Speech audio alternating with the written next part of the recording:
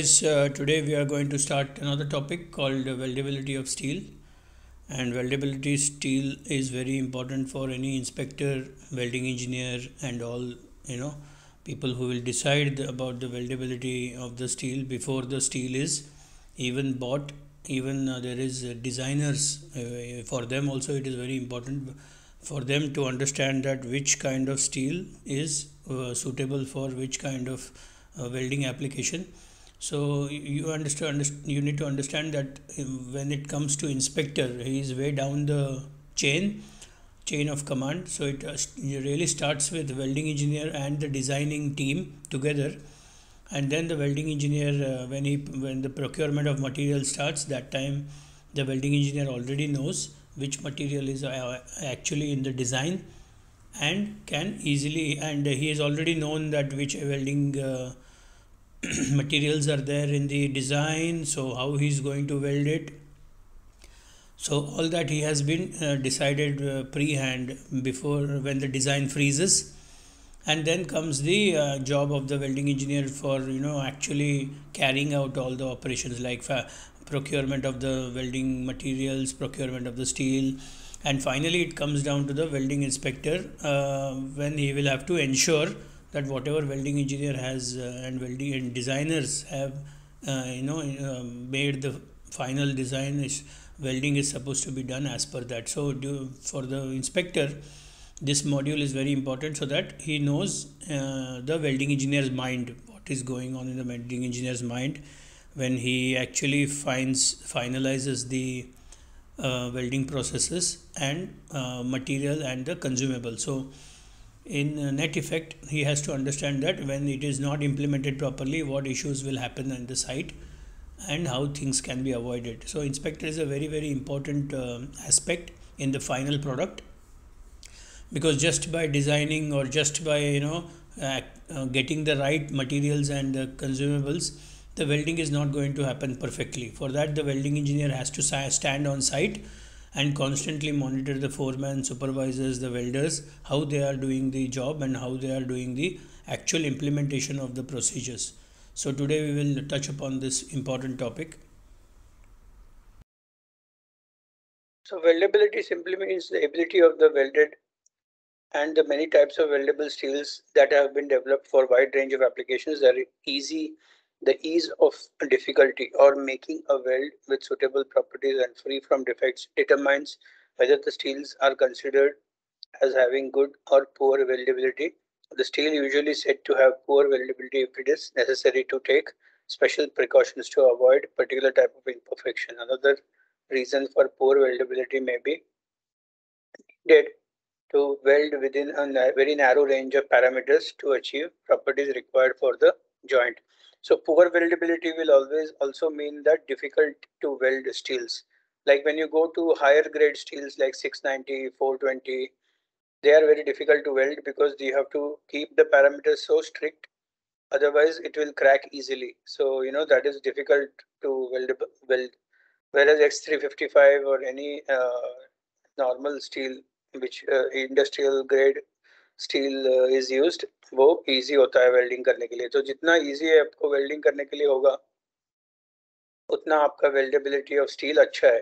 अगर आपको weldability difficult है तो वो पुअर वेल्डेबिलिटी कहलाता है। ये यही इसका आ, मतलब एक्सप्लेनेशन है। सो so, ये कौन से फैक्टर्स है जो वेल्डेबिलिटी टू को अफेक्ट करता है? That let us see so a number of interrelated factors determine whether a steel has good or poor weldability. So actual chemical composition of course ये तो बहुत इंपॉर्टेंट है वेल्डिंग में. Welding joint configuration weld joint का जो geometry है like जो we uh, होता है सिंगल वी डबल वी तो ये थिंग्स को और भी डिफ़िकल्ट बनाता है वेल्डिंग के लिए. सो डबल बेवल आप डबल साइड बेवल होगा तो वो डिफ़िकल्ट है क्योंकि उसको आपको पैक गाउजिंग करना है. पैक गाउजिंग इंश्योर करना है कि सब डिफेक्ट्स निकल गया फिर बाद में आपको एमपीआई करना है फिर आपको वेल्डिंग शुरू करना है। सो so, ये सब आपको एक्स्ट्रा प्रिकॉशन लेना पड़ता है। तो ये सब फैक्टर्स इंपॉर्टेंट है। फिर वेल्डिंग प्रोसेस नेचुरली आप वेल्डिंग प्रोसेस जितना कॉम्प्लिकेटेड होगा उतना वो आपको डिफ़िकल्ट uh, होगा वेल्डेबिलिटी के लिए। नॉर्मल आप S M A W M M A W जो आदमी like a welder easily electrode लेके शुरू कर देता है। अगर आपको एस करना है एफ़ करना है तो आपको बहुत सारा पैरामीटर्स पे ध्यान देना पड़ेगा। गैस फ्लो आपका जो फिलर वायर का जो डायमीटर है, उससे लेके गैस फ्लो का परफेक्शन से लेके पूरा current and all parameters perfect करने के बाद ये हम लोग ने एफ़ चैप्टर में देखा है कि कितना सारा उसमें थिंग्स टू नोट है। बहुत सारा चीज़ है जिसमें वो को ख्याल रखने के बाद ही वेल्डिंग शुरू कर सकता है। तो ये एक इंपॉर्टेंट थिंग है कि ये आपको मालूम होना चाहिए कि फैक्टर ये कौन से फैक्टर्स है जो वेल्डेबिलिटी को पुअर बनाते हैं। So the properties required from the weldment जो वेल्ड मटेरियल है, जो वेल्डिंग आपने किया है, उसमें, उससे जो आपको प्रॉपर्टीज़ एक्सपेक्टेड है, वो भी आपको इम्पोर्टेंट है ये वेल्डेबल वेल्डेबिलिटी के लिए। For steel with poor weldability, it is particularly necessary to ensure that WPS give welding conditions that do not cause cracking but achieve specific specified properties. So जो WPS है जो आ, ऐसा WPS जिसमें welding करने के बाद कोई फ्लॉ नहीं आएगा क्रैक नहीं आएगा कोई स्लैग नहीं आएगा पोरोसिटी ज़्यादा नहीं आएगा तो नेचुरली वो आपको प्रेफर करना चाहिए और वही वेल्डेबिलिटी के लिए इंपॉर्टेंट है welders work strictly in accordance with the specified welding conditions welding inspectors regularly monitor welder to ensure that they were working strictly in accordance with the WPS. So welder जो है वो WPS के strict दायरे में काम करता है whether it is current, whether it is voltage, whether it is heat treatment, whether it is preheating, whether it is uh, interpass temperature uh, uh, monitoring. So all this is very important for welder and then of course these same factors become important for the inspector also because he is actually doing monitoring of the welding. So having a good understanding of the characteristics causes the and causes and the ways of avoiding imperfection in steel weldment should enable welding inspectors to focus attention on the most influential welding parameters when steels with poor weldability are used. So अगर आपको पहले ही पता होगा of course ये आपको experience से पता चलेगा कि poor weldability of the steel कौन सा है so आपको वो पहले से ही आपको ख्याल रखने को शुरू रखना पड़ेगा जैसे कि हमारा कंपनी में जब हम लोग 690, 420 ये सब ग्रेड हायर ग्रेड स्टील जब यूज़ करता है तो उसके पीछे एक इंस्पेक्टर हम लोग पर्टिकुलरली सेपरेटली लगा देता है क्योंकि इसमें बहुत सारा चीज़ें प्री हीट से लेके इवन पोस्ट हीट करके बाद करने के बाद आपको एक ब्लैंकेट में उसको रैप करके रखना पड़ता है 48 आवर्स तक। फिर वो 48 आवर्स के बाद ही ब्लैंकेट निकलता है और बाद में उसमें एनडीटी होता है तो वी नो दैट इसमें कोई क्रैक नहीं आता है। ऐसा बहुत सारा स्टील है, आपको बाय एक्सपीरियंस से मालूम पड़ेगा कि जो वेल्डिंग करने के लिए बहुत डिफ़िकल्ट है और जब भी कोई वेल्डिंग करने के लिए लेता है तो उसमें कोई ना कोई तो लॉ आ जाता है। तो वेरी पुअर वेल्डेबल स्टील वो है जिसमें ज़्यादातर क्रैक आने का चांस है।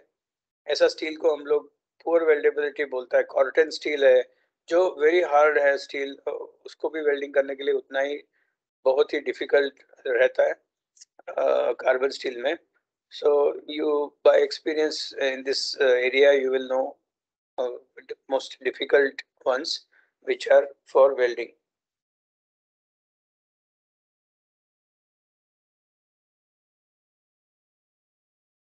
So for example, very high carbon steels, uh, which contains very high carbon, like 0.6 to 1% of the carbon and 0.3 to 0.9 manganese these are very extremely hard and strong and also have poor weldability and are difficult to weld without cracking. तो मैंने आपको वही explain किया कि ऐसा जो high carbon रहता है वो आपको डिफिकल्ट जाता है वेल्डिंग के लिए so that you need to understand from the beginning as a knowledge then on site when you will go you will get the experience also similarly ये low carbon uh, mild steel रहता है industry में जो standard for room temperature welding work the most common type of mild steel like AISI 1010 या 1018 ये सब easy है आपको welding करने के लिए। So इसको कैसे हम लोग improve कर सकते हैं? So कार्बन कंटेंट एक बहुत ही इम्पोर्टेंट इसमें है हार्डनेबिलिटी का uh, ये स्टील को हार्डन करने के लिए। So it's also affecting the weldability hence carbon content जो है when it increases the weldability decreases that is a thumb rule you have to understand in this chapter so other alloying elements like manganese nickel silicon also affects the steel weldability. So whenever you know, you see the MTC and you will see that these uh, steels are the steel in this uh, mineral, these materials are added in this. Naturally, you will be, uh, you will know that it is difficult to weld this. We need to take the precaution. Low carbon steel is typically most readily welded, welded uh, steel in the room temperature environment. If you know examples of low, I, I already decided, I told you A thirty six E H thirty six ये जो marine steel में use होता है ये भी easily weld होता है सो so उनको ज़्यादा तकलीफ़ नहीं होता है वेल्डिंग के लिए okay now hydrogen cracking so तो हाइड्रोजन क्रैकिंग के ऊपर मैंने एक वीडियो बनाया है खास और उसमें वो वीडियो भी दिया है मैंने जो हाइड्रोजन डिफ्यूशन कैसे होता है वेल्डिंग में। सो so, तीन सैंपल का जो एक्सपेरिमेंट है वो मिनरल ऑयल में रख के हम लोग ने जो भी एक वीडियो में एक स्टडी किया गया था एक पर्सन ने स्टडी किया उसका वीडियो मैंने डाला है। सो so, उसमें आप देख सकते हैं कैसे हाइड्रोजन 24 आवर्स 48 आवर्स के बाद और एज वेल्डेड कंडीशन में कितना हाइड्रोजन निकल रहा है वेल्डिंग से। तो इससे आपको एक अंदाज़ा आएगा कि हाइड्रोजन कितना खतरनाक है हमारे इंडस्ट्री में। So over the period of time hydrogen में जो इलेक्ट्रोड्स है, हम लोग यूज़ कर रहे हैं, अभी एच फोर आर भी आ गया है। सो एच फोर का मतलब है the lowest four M G D L per hundred gram so lowest hydrogen है उसमें तो वो यूज़ करेगा तो आपका जो वेल्डिंग है वो क्रैक फ्री रहता है। क्योंकि कभी कभी हम लोग fifteen M M G D L वाला यूज़ करते हैं तो उसमें ज़्यादा हाइड्रोजन रहता है। ज़्यादा चांसेस है आपका हाइड्रोजन का इशू की वजह से क्रैक आने का। बट हाइड्रोजन क्रैकिंग से बचना है तो naturally uh, you to take care of your consumable make sure they are done proper baking. फिर आपको प्री हीट देना है बराबर से uh, जब आप वेल्डिंग शुरू करने से पहले मेक श्योर sure कि वो प्री हीट ठीक ठाक हो। बाद में आप वेल्डिंग शुरू करेगा तो हाइड्रोजन आपका इसमें ट्रैप नहीं होगा और इशू नहीं आएगा so let's read this uh, during the fabrication of welding cracks can occur in some type of steel due to the presence of hydrogen. The technical name for hydrogen-induced cold cracking is HICC, but is often referred to by names that describe various characteristics of hydrogen cracks. कुछ photos भी मैं डालूँगा इसमें जो hydrogen cracks हमको मिला है site में जो आपको एग्जांपल एक्सप्लेन करने के लिए ये यूजुअली हाई कार्बन कंटेंट वाला जो मटेरियल है हाई हार्डन मटेरियल है इसमें ज़्यादा आता है। इसीलिए मैंने जब वो वेल्डिंग हमारे यहाँ हुआ जो आ, हम कुछ कुछ एरियाज़ में हमको मिलता है जो हम लोग उसको आ, आप इसमें फ़ोटोज़ देख सकता है तो आपको अंदाज़ा आएगा ये कैसे दिखता है। Cold cracking cold cracking cracks occur when the weld has cooled down so let's say ये वेल्डिंग हो गया और 72 आवर्स हो गया और बाद में एनडीटी किया तो आपको जब कोई क्रैक मिलेगा तो कोल्ड क्रैकिंग मतलब बहुत देर के बाद वेल्डिंग क्रैक कूल होने के बाद क्रैक आता है तो। फिर हैज़ क्रैकिंग जो हैज़ एरिया में अगर क्रैक हुआ है तो इसका मतलब ये है कि आपका वेल्डिंग जॉइंट जो आपने वेल्डिंग किया, वो तो ठीक हो गया बट उसके वजह से जो पेरेंट मटेरियल में जो क्रैक डेवलप हुआ maybe because of heat dissipation बराबर नहीं हुआ, बराबर हीट प्री हीट नहीं किया, या बराबर पोस्ट हीट नहीं किया होगा। बहुत सारा इश्यूज़ है, इसको तो हमको तब तब भी पता चलेगा जब इसका डिटेल्ड एनालिसिस होता है। सो डिलेड क्रैकिंग भी है, जो क्रैक्स आता है सम टाइम के बाद 72 आवर्स के बाद वाला। Under bead cracking crack occurs during the has, occurs in the has beneath the तो ये भी हो सकता है कि अंडर बीड क्रैकिंग भी हो जो वेल्ड के अंदर कुछ हो थोड़ा थोड़ा पर आपको ये यूटी में पता चलेगा। So although most hydrogen cracks occur in the has, there are circumstances when they may form in weld metal. तो ये ज़रूरी नहीं है कि वो हैज़ में ही होएगा, ये एक्चुअली आपका पेरेंट मटेरियल में भी हो सकता है हैज़ में भी हो सकता है, या आपको ये वेल्ड के अंदर भी आ सकता है ट्रांसवर्स आ सकता है हॉरिजॉन्टल वर्टिकल आ सकता है तो आपको ये मैं दिखाते जाएगा। अभी आपने एग्जांपल देखा फोटोग्राफ से। तो आप ये देख रहे हैं ये एक्चुअली ये वेल्ड टो का यहाँ पे क्रैक हुआ है। That initiated the has and the toe of the fillet weld. तो ये एक्चुअली शुरू हुआ है पेरेंट मटेरियल में because of stress or maybe because of the uh, wrong welding technique और maybe हो सकता है इसमें वेल्डिंग इलेक्ट्रोड ठीक से नहीं रखा होगा या प्री हीट नहीं किया होगा बहुत सारा रीजन हो सकता है। So hydrogen cracking in the in the has of the steel occurs when four conditions exist. तो ये हमको अच्छा है ये ड्राइंग ऑफ़िस में ये एक पोस्टर बना के डालने के लिए वेरी गुड है सो so, ये आप कॉपी करके अच्छा पोस्टर बना के आपके कंपनी में क्वालिटी के जो आई मीन डिपार्टमेंट है उसको ये यूज़ करके पोस्टर बना सकता है और उसको सब लोगों को, वेल्डर को नोटिस बोर्ड पे डाल के आपको अच्छा से एक्सप्लेन कर सकते हैं कि जब आप हाइड्रोजन क्रैकिंग है कैसे इसको अवॉइड कर सकता है तो इसमें चार इश्यूज़ आपको संभालना पड़ेगा। Susceptible microstructure, temperature, high carbon concentration और टेंसाइल स्ट्रेस। अगर ये आप चारों चीज़ कंट्रोल किया तो आपका क्रैकिंग नहीं होगा, अवॉइड हो जाएगा। तो आप देख सकते हैं कि हाइड्रोजन लेवल आपका जो इलेक्ट्रोड में 15 एम पर 100 ग्राम होगा तो of the weld metal deposited उससे कम होना है उसको। तो अभी फोर तक अवेलेबल है electrodes seven zero one eight seven zero one six stress stress नहीं होना चाहिए। आप अगर बहुत खींचातानी करके इसको फिटअप करेगा, और वो खींचातानी के टाइम पे वो बहुत हैवी थिकनेस होगा तो नेचुरली इसमें स्ट्रेस पहले से ही आप इंड्यूस कर देगा और तभी तो आपका फिटअप निकालने के लिए आप ओके कर देगा। पर बाद में जब वेल्डर वेल्डिंग करेगा तो ये पूरा चीज़ स्ट्रेस में रहेगा हमेशा।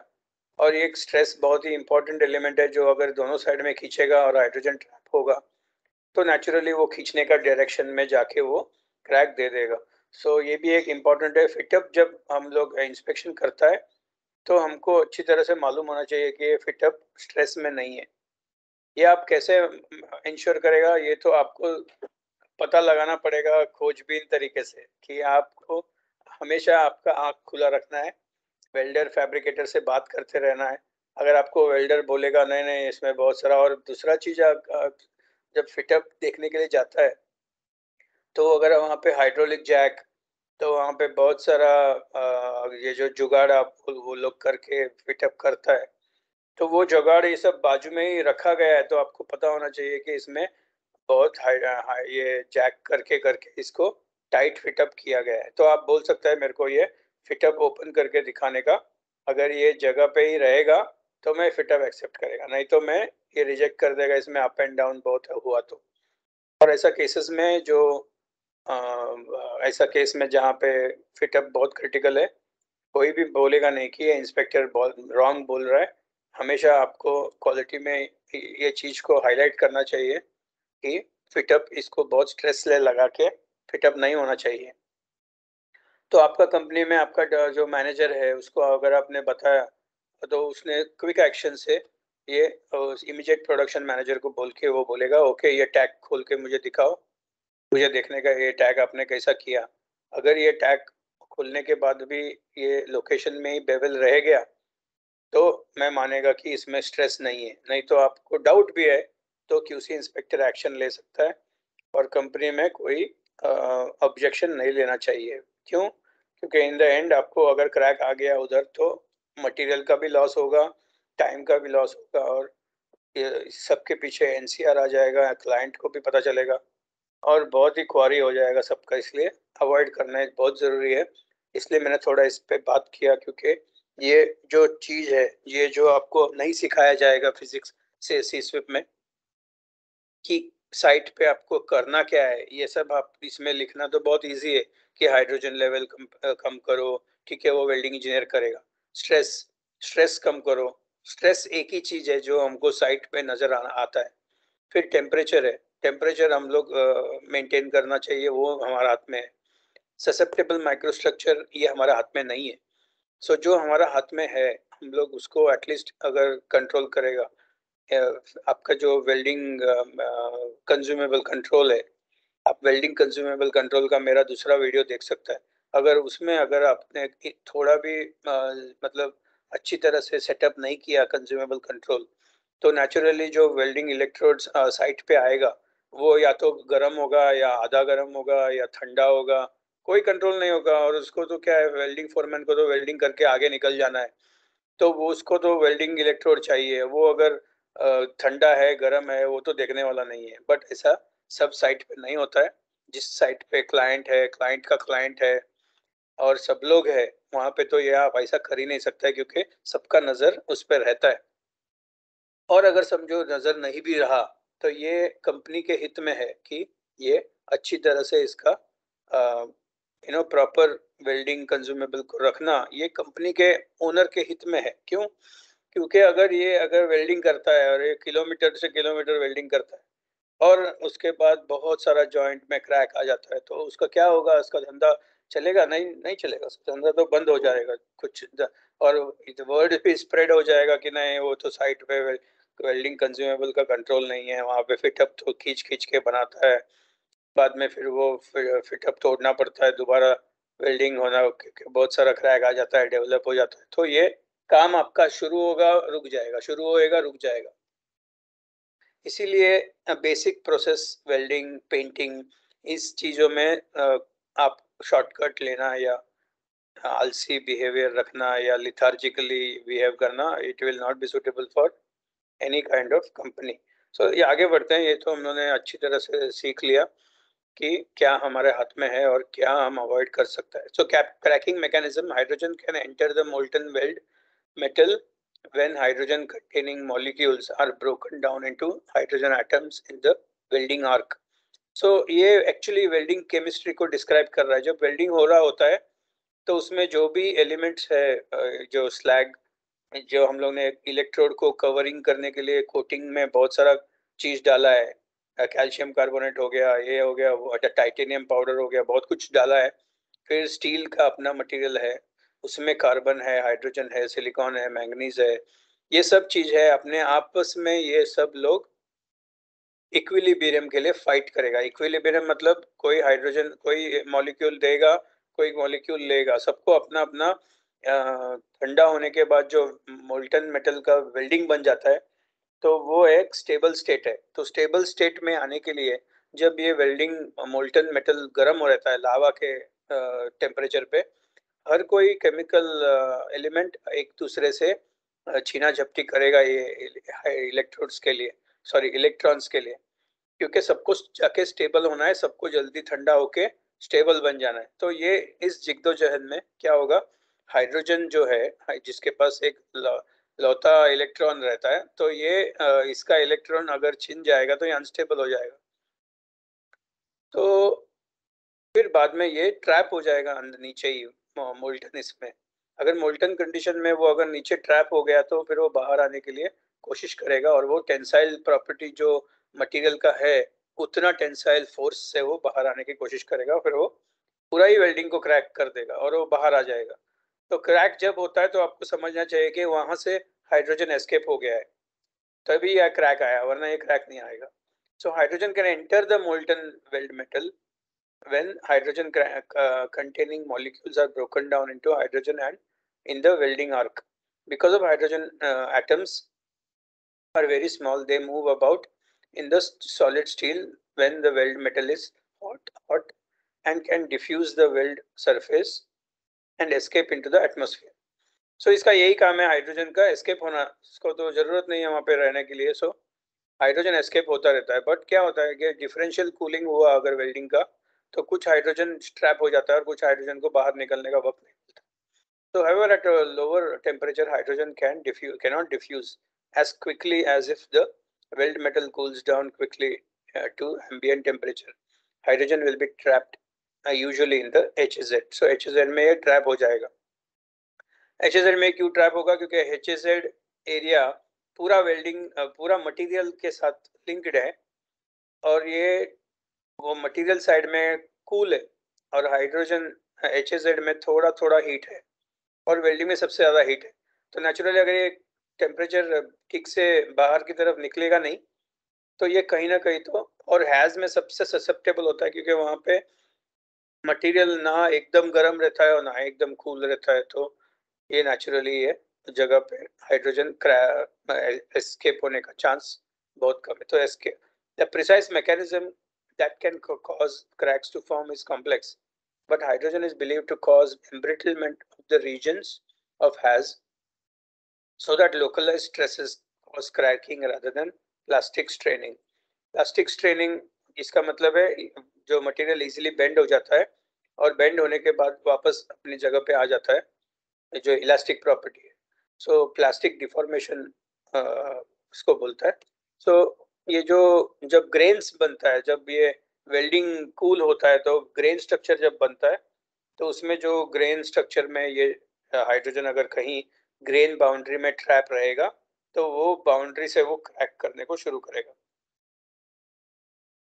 तो अगर आपने ये क्रैक होने, हुआ एरिया का माइक्रोग्राफ बनाया और अगर आपने देखा कि ये क्रैक ग्रेन बाउंड्री के साइड से जा रहा है तो इमीजिएटली पता चल जाता है कि ये हाइड्रोजन एम्ब्रिटलमेंट का क्रैक है। So to avoid hydrogen induced hydrogen cracking because of the factors that cause hydrogen cracking are independent and each must be an active level at the same time cracking can be avoided by ensuring that the at least one of the factors is not active during the welding. तो ये जो आपने देखा ये इसमें at least आप दो या तीन एलिमेंट संभाल लेगा तो क्रैकिंग आने का चांसेस कम है। पर मैं तो कहता हूँ कि सब कुछ आपको संभालना चाहिए। Methods to minimize influence of each of the four factors are considered in the following. So, अब ये नीचे के जो, अब ये सीस्विप में सिर्फ़ हाइड्रोजन क्रैकिंग के ऊपर ज़्यादा ज़ोर दिया जाता है। बट एक्चुअल आप साइट में पहुंचेगा तो आपको ऐसा नहीं है कि सिर्फ़ हाइड्रोजन क्रैक का ही एक इशू है। आपको बहुत सारा इश्यूज़ आपसे साथ डील करना पड़ेगा। सो बट इन सीस्विप तो एक डिग्री लेवल कोर्स नहीं है कि बाबा इसके ऊपर वो 600 या हज़ार पेजेस के ऊपर सिर्फ़ you know on this particular metallurgy के मैटर्स में वो लिखे।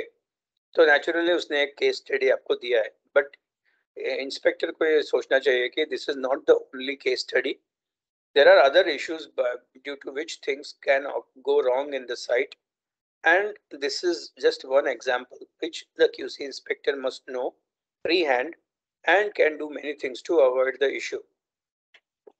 पर आप जब एक्सपीरियंस लेके साइट में आ जाएगा बहुत सारा काम करेगा तो बहुत सारा प्रोजेक्ट करेगा आप देख सकते हैं कि कैसे ह्यूमन एलिमेंट इसमें ज़्यादा इन्वॉल्व है कैसे वेल्डर फोरमैन वेल्डिंग सुपरवाइजर फिर प्रोडक्शन का लोग जो एक दूसरे के पीछे पड़ा रहता है कि ये वेल्डिंग खत्म होना चाहिए। फैब्रिकेशन वाला पीछे पड़ा रहता है कि ये फिटअप रेडी हो जाना चाहिए। तो इसके लिए जो भी वो शॉर्टकट यूज़ करता है तो वो सारा शॉर्टकट जो है हमारा जॉब का क्वालिटी में आता है। तो ये सारा शॉर्टकट वेल्डिंग इंस्पेक्टर को सिखा नहीं सकता है एक्चुअली ये जो छोटा सा जो सीस्वेप का कोर्स है। इस, ये तो आपको अलर्ट रह के साइट में बात करके करके करके आपको एक over a period of time develop होना है so naturally you will learn when you will get the actual uh, experience in the site.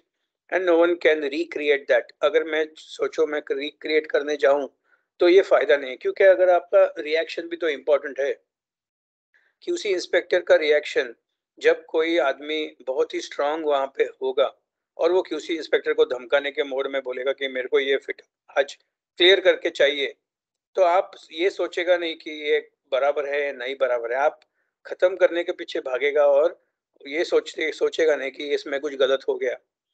तो इसी के ये वेल्डिंग विजुअल भी। वेल्ड विजुअल भी आपको जल्दी जल्दी करने के लिए बोलता है। वेल्ड विजुअल के पहले का जो इशू है, वेल्ड मॉनिटरिंग, वो करता नहीं है कोई भी। तो नेचुरली ये सब अगर आप बिल्ड हो जाएगा ओवर टाइम तो आपके जॉब और साइट में बहुत सारा इश्यूज़ आ सकता है। ये सब चीज़ एक्चुअली आप जाके सीखता है जब आप खड़ा रहता है इसलिए साइट पे। तो नेचुरली क्यूसी इंस्पेक्टर एक यंग पर्सन है। तो उसको एक्चुअली बहुत ही स्ट्रॉन्ग माइंड का वाला होना चाहिए। स्ट्रॉन्ग माइंड वाला क्यूसी इंस्पेक्टर का क्या मतलब है? कि उसको बात करने को आना चाहिए वेल्डिंग फोरमैन को फैब्रिकेशन फोरमैन को फैब्रिकेशन सुपरवाइजर को। और उसको बोलने को आना चाहिए कि नहीं, ये तरीका गलत है, ये तरीका सही है। और ये बात करने का भी तरीका आना चाहिए। पहले पहले प्यार से आपको समझाना चाहिए। फिर आप बोलना चाहिए, एक दो एनसीआर रेस करेगा। और एनसीआर भी आप रेस करेगा, ऐसा ही स्ट्रेट रेस नहीं करेगा। आप जाके मैनेजर से बात करेगा। आप मैनेजर को बोलेगा कि ऐसा ऐसा गोरख धंधा चल रहा है साइट पे। ये सबको अगर हम अगर क्वालिटी में नहीं लेके आएगा तो नेचुरली इधर ये साइट में बहुत सारा प्रॉब्लम हो सकता है।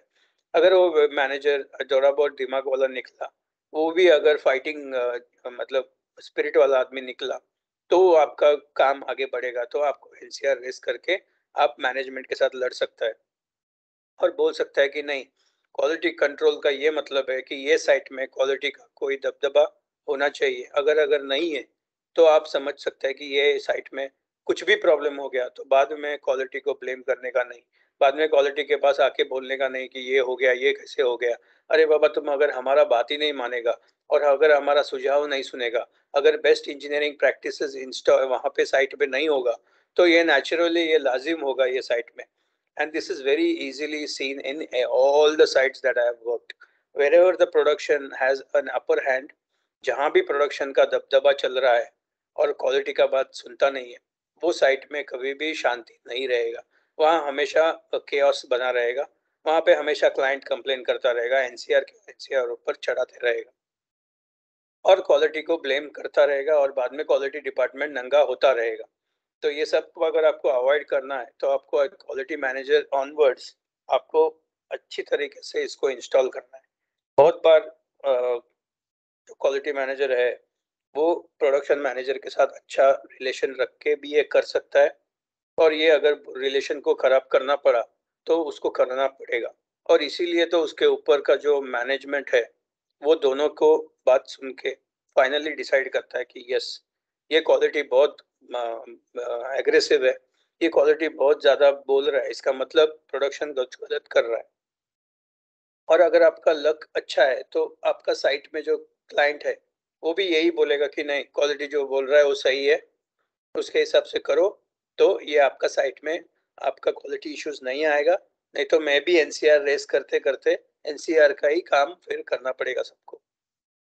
तो मैंने इतना सब आपको एक्सप्लेन किया है क्योंकि ये is not the only issue और इसमें ह्यूमन फैक्टर्स इन्वॉल्व है, इसमें आदमी का जो बिहेवियर है वो भी इन्वॉल्व है। तो सारा बिहेवियरल मामला है और ये सारा चीज़ जो है साइट में सारे इंस्पेक्टर को फेस करना पड़ता है। तो ये उनको मालूम होना चाहिए।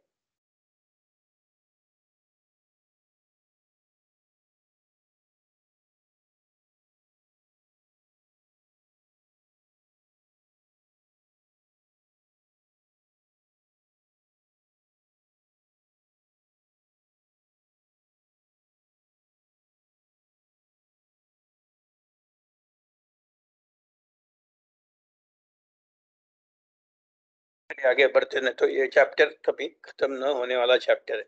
So the main source of hydrogen is moisture so सबसे बड़ा दुश्मन पानी है पानी और मॉइस्चर कभी कभी कोई कोई साइड में ड्यू गिरता है कोई कोई साइड में बारिश गिरता है।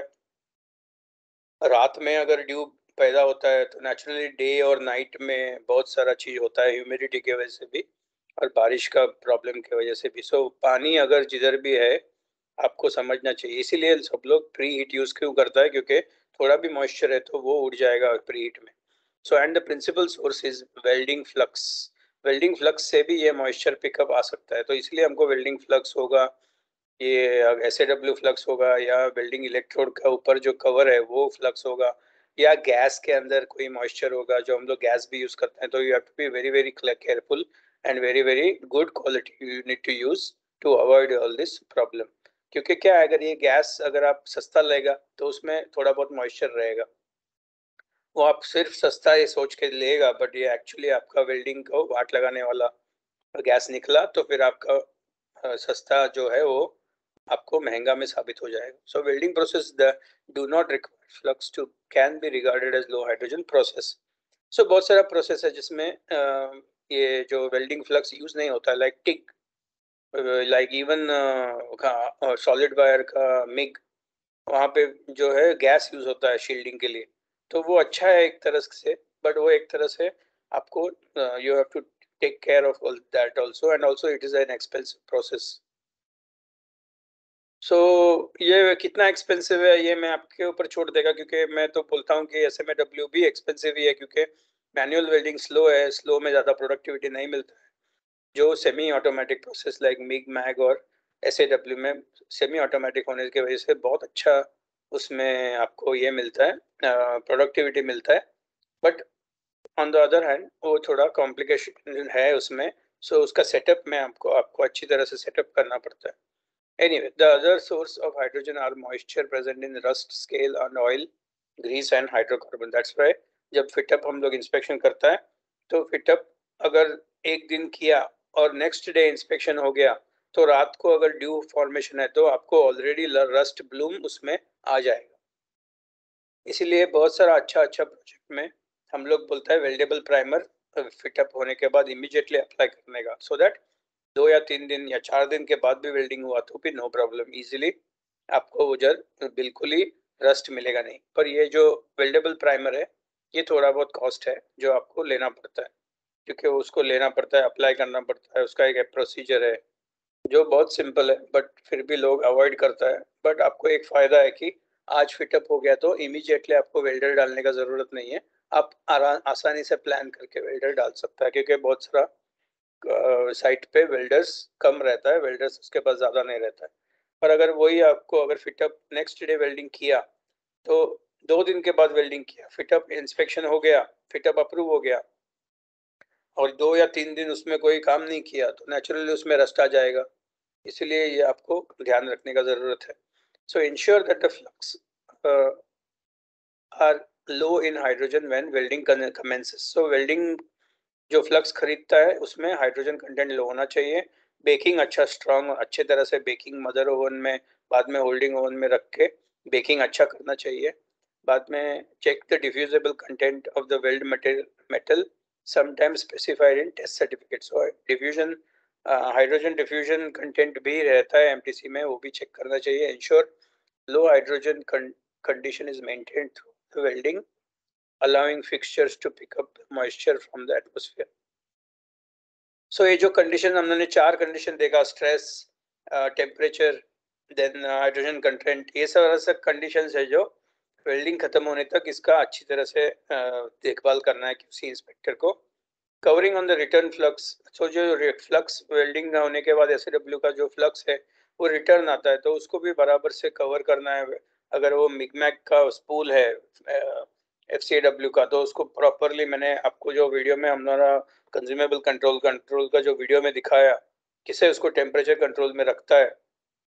अगर यही साइट में रह जाएगा तो ये ये जंग पकड़ेगा। और आपका जो साइट है, आप आप साइट में घूमता है सुबह सुबह तो आप एक वेल्डर को बोल सकता है उसका जो फीडर बॉक्स ओपन करके दिखाने के लिए। और अंदर अगर अंदर वो पुराना दो दिन बाहर रखा हुआ रहेगा तो उसमें रस्ट बन जाएगा। इजीली आप पकड़ सकता है और वेल्डिंग स्टॉप कर सकता है, क्योंकि वो वेल्डिंग हमेशा क्रैक पोर्न ज़्यादा क्रैक होने का चांसेस वहाँ पे ऑलरेडी हो जाता है। क्योंकि जो वेल्डर्स है, ये सब यू नो हंड्रेड परसेंट पक्का अच्छा लोग नहीं रहता है। इसमें बहुत सारा लोग रहता है जो आलसी रहता है। वो बोलता है, नहीं नहीं, मैं इसको अपना लॉकर में डाल के जाएगा। कल इसको ही लेके मैं दोबारा वेल्डिंग करेगा सो so दैट मेरे को स्टोर में जाने का ज़रूरत नहीं स्टोर में लाइन में लगने का ज़रूरत नहीं स्टोर के लिए स्टोर के लिए रिक्विजिशन लेने का ज़रूरत नहीं है। फोरमैन से ये सब मगजमारी मेरे को नहीं करने का, नहीं करने का मैं सीधा इसको अपने लॉकर में रख देगा और सुबह सुबह इसको डाल के वेल्डिंग शुरू कर देगा, कोई भी देखेगा नहीं और मेरा काम आसानी से चलेगा। ऐसा सोचने वाला बहुत लोग है, इसलिए आपको भी उसी तरह से सोचना है। उसी तरह से आपको सोच के इनको पकड़ना है, इसलिए आप रैंडम इंस्पेक्शन कर सकता है।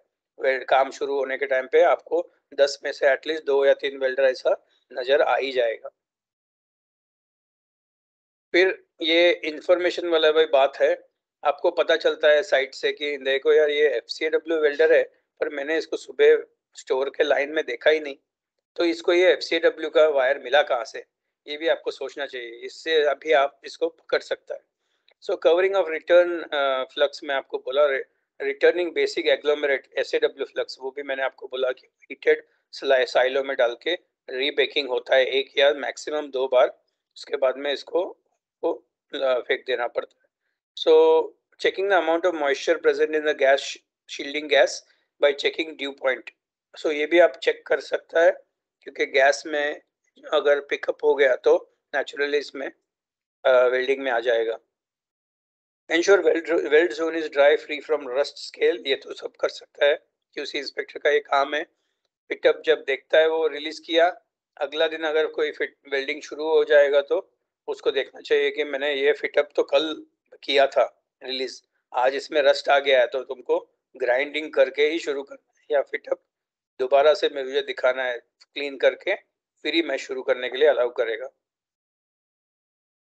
So tensile stress there are always tensile stress is acting on the weld because of the there are always residual stress from the welding so ये टेंसाइल स्ट्रेस जगह, अगर आप, मैंने आपको बोला कि अगर ये स्ट्रेसफुली इसको फिटअप किया रहेगा जैकिंग वगैरह करके तो ये जब वेल्डिंग आप करेगा तो वेल्ड कूल होने के टाइम पे जो एरिया से स्ट्रेस से खींचेगा तो नेचुरली इस पर स्ट्रेस आ जाएगा वेल्डिंग के ऊपर। सो so, ये जो टेंसाइल स्ट्रेस है एक जो अगर आपका मटेरियल 70 16 ये 70,000 टेंसाइल स्ट्रेस से ये दोनों तरह से खींचेगा तो नेचुरली ये स्ट्रेस वेल्डिंग के लिए हानिकारक है। Tensile highly restrained joints can be high so ये रिस्ट्रेंड जॉइंट्स का यही मतलब है जो टैगिंग किया हुआ है ये बहुत ही जैकअप करके रिस्ट्रेन करके इसको यू नो बहुत बार चेन्स वगैरह लगा के चेन ब्लॉक पुली मैकेनिज्म से लगा के इसको खींच के जगह पे रखता है और बाद में इसको निकालता नहीं है। टैग करने के बाद भी निकालता नहीं है, क्योंकि अगर निकाल दिया तो टैग टैकिंग भी क्रैक हो जाएगा। तो ऐसा कोई भी फिटअप आप एक्सेप्ट मत करो। जो चेन का ऊपर ऐसा बाँध के बहुत ही फास्ट मतलब फास्टनिंग करके, की टैग वेल्डिंग करके वो बोल सकता है कि ये फास्टनिंग निकाल दो। अगर टैग वेल्डिंग रुक गया तो शायद ये ठीक ठाक होगा, नहीं तो आप ये रीफिटअप मांगना चाहिए। So avoid stress concentration due to poor fitup avoid poor weld profile so weld profile भी आपको अगर ये क्रिटिकल जॉइंट है तो वो ड्राइंग में आएगा। ड्राइंग में वेल्ड प्रोफ़ाइल अगर स्मूथ ग्राइंडिंग दिया है तो आपको उसका जो टो है प्रॉपरली स्मूथ ग्राइंडिंग करके ये वॉशर मिलता है वॉशर को पास करके आप वो जो रेडियस आता है बड़ा वॉशर का, वो बोल सकता है आप ये इसमें ये वेल्डर को बोल सकता है कि तुम थोड़ा ग्राइंड करके वॉशर से चेक करो तो ये बराबर स्मूथ आपको मिलेगा तो मैं ये वेल्डिंग एक्सेप्ट करेगा। तो ये आपको ये हर जॉइंट पे नहीं करना है, ये क्रिटिकल जॉइंट पे ही होता है और वो ड्राइंग के ऊपर डिज़ाइनर ऑलरेडी लिख देता है कि जहाँ पे उसको टो ग्राइंडिंग करने का ज़रूरी है। Usually a very high stress concentration area में जहाँ पे पिलर्स वगैरह आता है, वहाँ पे ये करवाता है। So applying a stress relief heat treatment after the welding so ये भी इम्पोर्टेंट है। स्ट्रेस रिलीविंग अगर रहेगा आपका वेल्डिंग के बाद तो ये और भी अच्छा है बिकॉज़ ये स्ट्रेस रिड्यूस हो जाता है। Increasing the travel speed as practicable to reduce the heat input so heat input को कंट्रोल रखना है आपको। आपको ट्रैवल स्पीड ठीक ठाक रख के।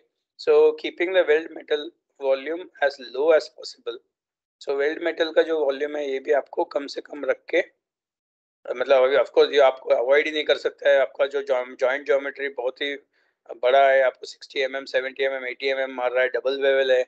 आपके हाथ में नहीं है बट एटलीस्ट प्री हीट आपके हाथ में है तो वो एटलीस्ट आप कर सकता है।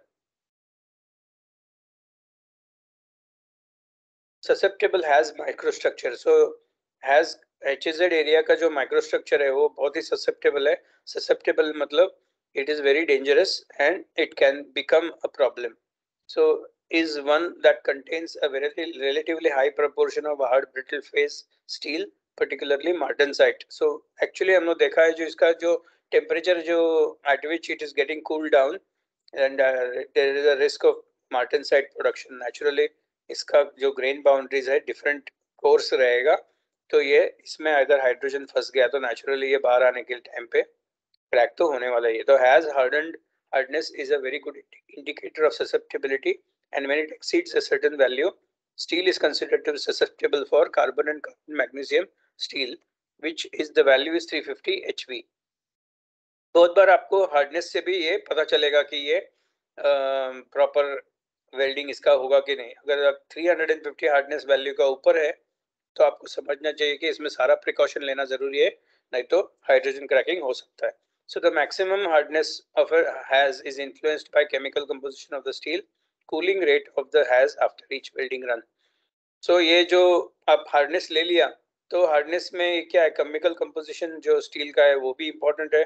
और ये जो इसका कूलिंग रेट है वो भी इम्पोर्टेंट है। ऐसे मामले में वेल्डिंग इंजीनियर इन्वॉल्व हो ही जाता है, पर आपको ये मालूम होना चाहिए कि ये रैपिड कूलिंग और रैपिड हीटिंग नहीं होना चाहिए।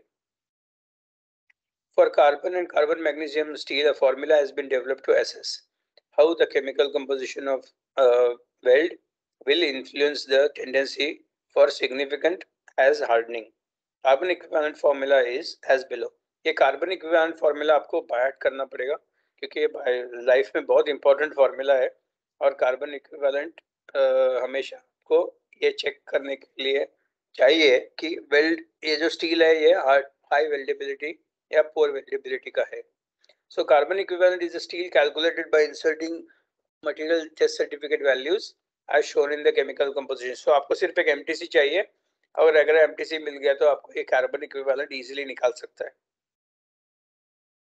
जो अरमको प्रोजेक्ट कर रहा है, उसके लिए तो कार्बन इक्विवेलेंट इम्पोर्टेंट है, क्योंकि आपका कार्बन इक्विवेलेंट का एक रेंज है।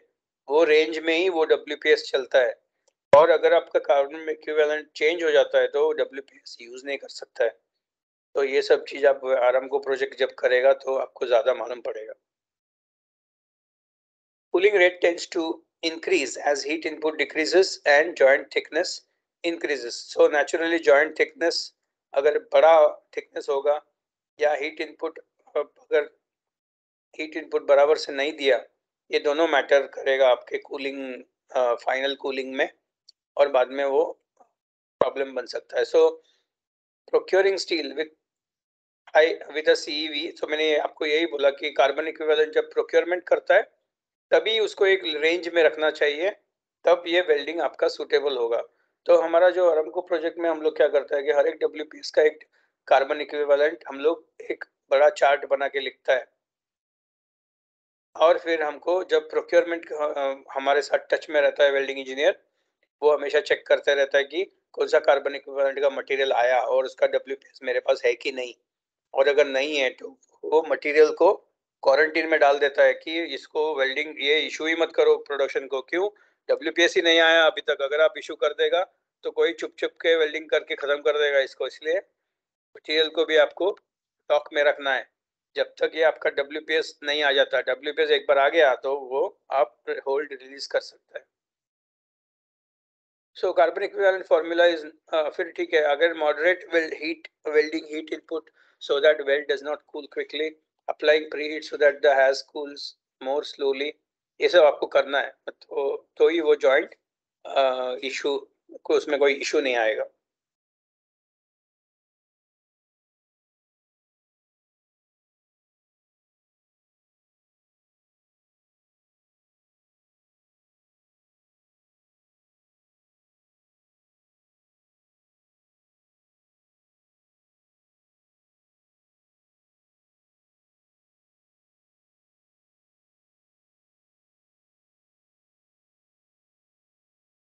Now I want to show you the carbon equivalent and its uh, detrimental impact on welding. So you can see carbon equivalent as it increases and it becomes over 0.5, the weldability also decreases. So you can see it's poor actually.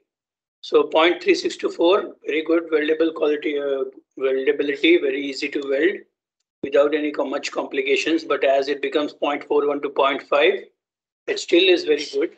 It still is good, but not extremely good. But but in, after 0.46, you are need to take care extremely during the welding. So that is the effect of carbon equivalent.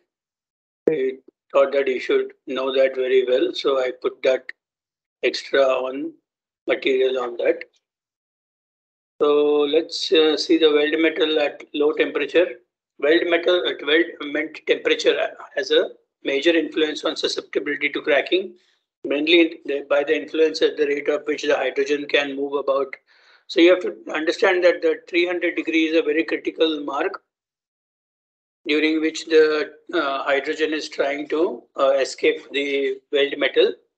And uh, that is why interpass temperature, many times you can see the welding uh, interpass temperatures are very critical so above carbon equivalent 0.46, you need to take care of the interpass temperature very much. So while weld is relatively warm, uh, hydrogen will diffuse quite rapidly and escape into the atmosphere rather than trapped, trapping and getting causes of embrittlement. The influence of low weld met temperature, risk of trapping hydrogen can be reduced by applying suitable preheat. As I told you, preheat should be there In the ISO uh, standard, there is a graph available as per thickness and uh, how you can put the preheat. So that graph is very important. I'll let you know which ISO graph. I will make a separate short video on that because it is has to be explained a little bit. Preventing the weld from cooling down quickly after each pass, maintaining the preheat. So you can see many times they are doing welding and then going and doing something uh, welder is going for a toilet break or this kind of things, you know, and uh, then the weld is getting uh, cold. Again, he will come back and do preheat. And if it doesn't do preheat, then again, you will have a problem. So these all things you must know that if the welder, some welder is going to uh, take a break, like, uh, you know, the lunch break and all, if this is a critical joint, then you have to tell the foreman and welder need to rearrange another welder in his place or many times you have to do stagger staggering means welder uh, some welders will go for lunch some guys will be back for doing the welding. So post heat in accordance with the specification um, not to be confused with pwht at a temperature of 600 degrees. So post heat is another mechanism. What you can do is do the some post heating uh, relatively nearer the uh, you know, the about 100 to 150 degrees, depending on that chart and uh, what welding engineer told, tells. So after the welding is over, you need to take the propane torch and uh, just do uh, heat on the uh, final welding capping. Heat little bit of uh, to 150 degrees or 100 degrees. Then wrap it in proper uh, thick blanket and then allow it to soak slowly cool. This is for very high um, carbon equivalent material. But then suitable uh, post heating method, the welding engineer has to properly uh, specify in the WPS and that has to be followed.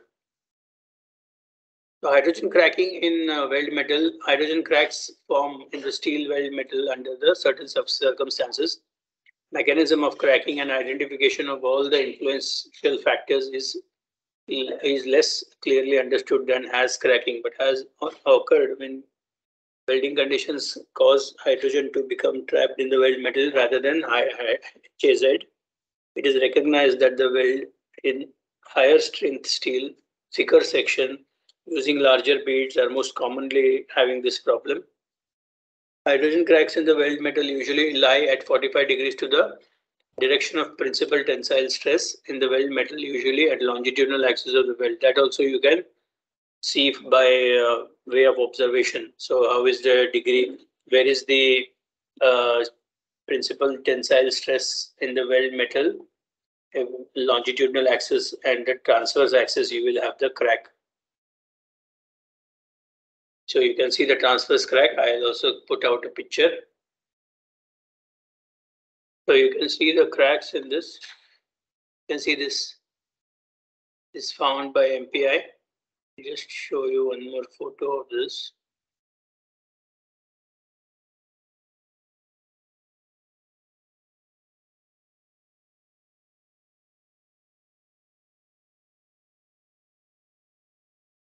That is very clear. You can see this is very clear now. You can see this transverse crack. Sometimes you can uh, see it by bare eyes. I just want to show you one sample of how it will look if there is a very rarely you can see, but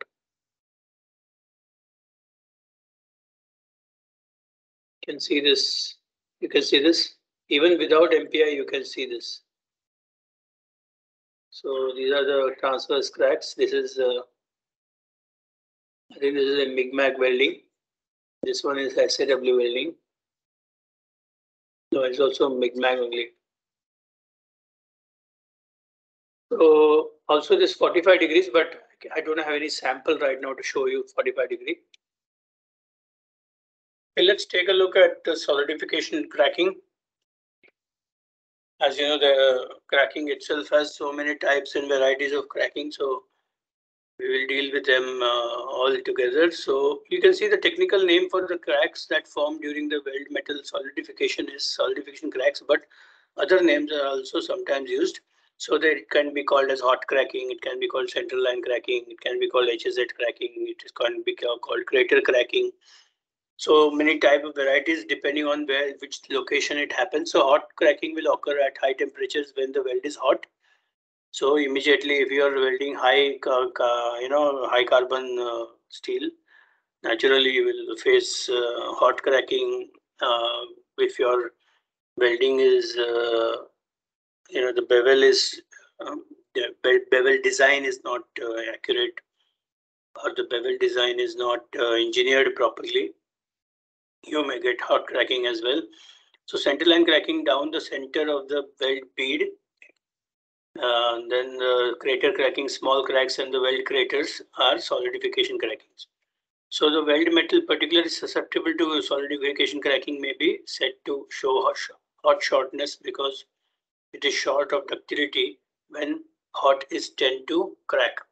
So you know the hot shortness is the way uh, because of the you know ductility of the material is uh, short. So if it is less, then you will face this problem. So uh, shows a transfer section of a weld with a typical central line solidification cracking. So you can see this happening here. The dark void area is where the cracks have developed. The solidification crack at the weld center where column uh, columnar dendrites have tape, tape tapped some lower melting point liquid then welding the weld bead does not have an ideal shape but has a solidified without the dendrites meeting end on tapping lower melting point liquid thereby resisting solidification cracking cracking.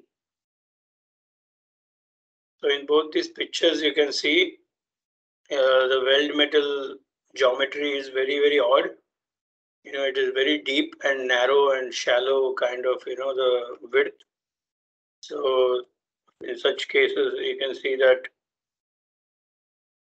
the weld bead, it does not have the ideal shape, but it has tried to solidify. And during the solidification exercise, there are some stresses involved in this uh, material because of which the bottom portion or middle portion was not able to solidify properly. And because of the stresses involved, it has given the crack. Factors influencing susceptibility to solidification cracking. So what are those factors which are affecting this problem? Weld metal has a susceptible chemical composition. So chemical composition, as we said, uh, is also playing a part where the carbon percentage is high. Welding condition used uh, give an unfavorable bead shape. So bead shape and uh, the joint geometry is at play and high level of restraint or tensile stress present at the weld area. So that all three conditions you need to check. Uh, if these are affecting the weld, then naturally it will uh, seem that there will, can be a chances of cracking.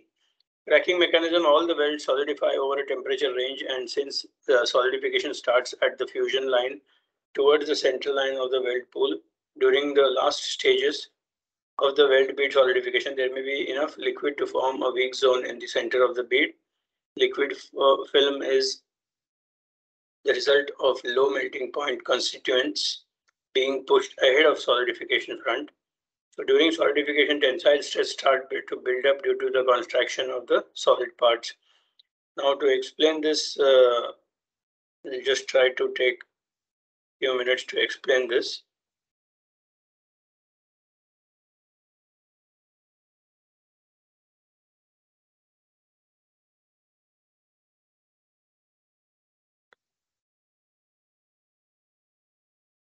So in, as in any uh, weld metal, you know that uh, when the welding is hot, the weld pool, uh, depending on the depending on the weld pool, when it is starting to you know slowly slowly uh, cool down, don't forget that it is attached at this point of time at least in two sides, two sides of the parent material. And if those parent material sides are in stress or they are being put together in fit up with stress, naturally they will be pulling each other uh, in the opposite direction. And then when the cooling will start, because of the stress uh, and also because of the temperature dissipation, if you're uh, uh after the HZ area, the weld metal is very cold. Let's say, for example, you're welding this in the cold uh, region. Then the heat dissipation, if it is irregular in that uh, location, some item, some weld metal will cool early and some will take its time and some will cool a little bit later. So because of this irregular uh, heat distribution and dissipation pattern, the and is also in the stress. So all this component coming together and also the uh, material is having that kind of chemical composition can give you a crack uh, or it can create the right atmosphere for solidification cracks. So how to avoid this? Uh, well, weld metal composition, most carbon magnesium steel made from modern steel making methods do not have chemical composition particularly sensitive to solidification cracking. However, they can become sensitive to the type of cracking if they are contaminated with elements or compounds that produce relatively low melting point films in the weld metal. So contamination is can be a problem, although your steel uh, composition may not be a problem sometimes, but you know the other surroundings are, which are in your control, like for example, rust-free bevel, oil-free, and uh, you know uh, dust-free uh, bevel. These are the things which are you know going to cause irregular uh, cooling down can be taken care of, and also carbon pickup from these can be taken care of. Then sulfur and copper can make steel weld metal sensitive to solidification cracking. If present in the weld at relatively high levels, sulfur contamination may lead to the formation of iron sulfides that remain liquid when the bead has cooled down from as to as low as 980 degrees, whereas the bead solidification started above 1400 degrees. So you have to check this copper and sulfur uh, contamination to eliminate this cause of uh, you know uh, cause of uh, cracking.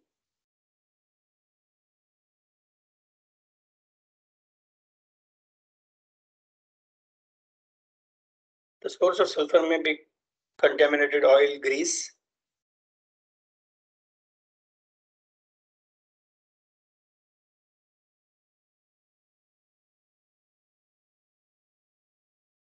or it could be picked up from less ref, uh, refined parent steel being welded by dilution to the weld. Copper contamination in the weld metal can be similarly harmful because it has low solubility in steel and can do films and form films that are still molten at 1100 degrees. Avoid solidification cracking uh, requires avoidance of contamination with potentially harmful materials by ensuring Weld joints are thoroughly cleaned immediately before welding. Any copper containing weld accessories uh, are suitable or in suitable conditions such as backing bars, contact strips used for GMA, FCA and SAW. Now, uh, what that's what is saying that the bevel condition should be clean and there should not be any copper uh, uh if you are using contact tips and other stuff do, using during the welding which is made of copper then at least you should ensure that you will not touch the bevel with that or you have to make maintain the suitable uh, electrode or uh, filler wire stick out so that you know your when you're welding the weld pool doesn't touch the copper and starts melting the copper or the copper chips should not enter the welding. Because you know copper's uh, the melting point and the steel melting points are different so it will play along with that and create this problem. So unfavorable welding conditions encourage weld beads to solidify so that low melting point films become trapped at the center of the solidifying weld bead and become the weak zones and crack formation. So what happens, you, the uh, items which are having low melting point, they come to the center and then there they get trapped. So those are the issues.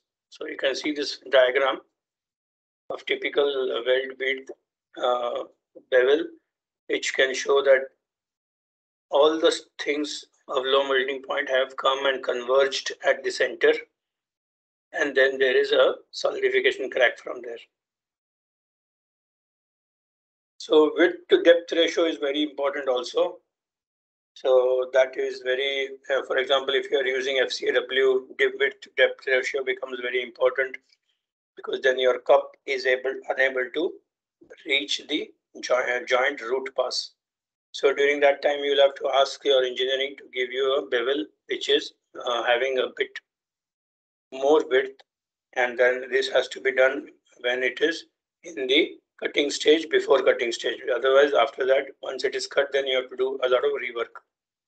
So weld bead has a cross section that is quite deep and narrow, a width to depth ratio more greater than 1 is to 2 and the solidifying dendrites have pushed the lower melting point liquid to the center of the bead where it has become trapped since the surrounding material is shrinking as a result of cooling this film would be subjected to tensile stress and leads to cracking. That's what we described.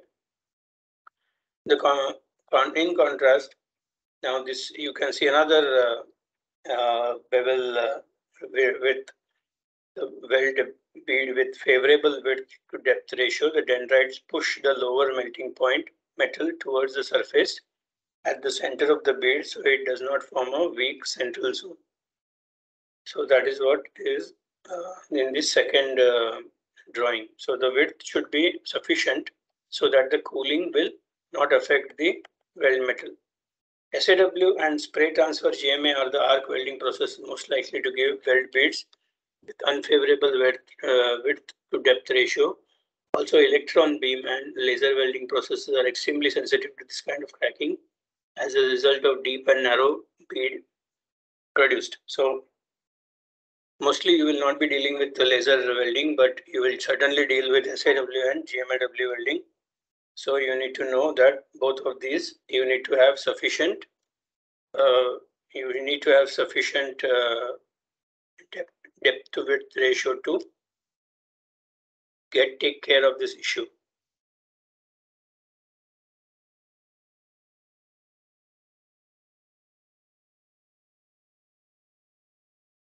Avoiding uh, unfavorable welding conditions that lead to the centerline solidification cracking may require significant changes to the weld parameters such as reducing the weld current and reducing the weld speed also. So both this, uh, the welder will uh, tell you that uh, he is unable to reach the root or, you know, he is unable to reach because of his cup size and so things, so many things. Usually the welder will first tell the, to the foreman, then the foreman will inform the QC. But if the QC knows the cup size and all that things, he will know it during the fit up itself that no, he is unable to do, he will not be able to do the welding. Then you can that time only take care, you need to reassess this fit up and uh, you need to ask the foreman which welding processes they are going to use for uh, that particular joint. In uh, very, uh, uh, you know, the experienced companies like us, we when the drawing is going to the field, in the weld map drawing itself, the welding engineer will specify which welding joint should be welded with which process. So that it is easy for the welding foreman also and he will not think much. But then still uh, you know sometimes it may happen that many joints the welding engineer may think something so on the site they always need person to uh, give the feedback that no it is not possible or whether it is possible easily or there is no issue at all so this is a very important aspect where the qc's uh, knowledge and very and also the logic and also the common sense is getting tested. So TIG welding when there is a, a current slope out device so that the current and weld pool depth gradually reduce before the arc is extinguished. What he's trying to tell you is that there is a, a trick by which the welder will try to remove the filler wire first and then with the tungsten uh, rod uh, travel with at least 2 to 3 mm or 5 mm more so that he will completely avoid the formation of any cracks. It's also common practice to backtrack the bead slightly before breaking the arc or lengthen the arc gradually to avoid crater crack. That's what I told you. Lengthen the arc means when uh, finally when the filler wire is removed by the TIG uh, welder, he will remove it first, then travel for 5 mm or 10 mm and then extinguish the arc. By that way, uh, it will, you will not uh, have any crater cracks. You will talk to the welder and then you will find more, you know, information on such kind of thing. So next is uh, modify the weld pool solidification mode by feeding the filler wire into the pool until solidification is almost complete and avoid any concave crater. So even concave cratering is possible. So you have to modify the weld pool, solidify, um, so you modify the weld pool by feeding the filler wire into the pool until the solidification is almost complete.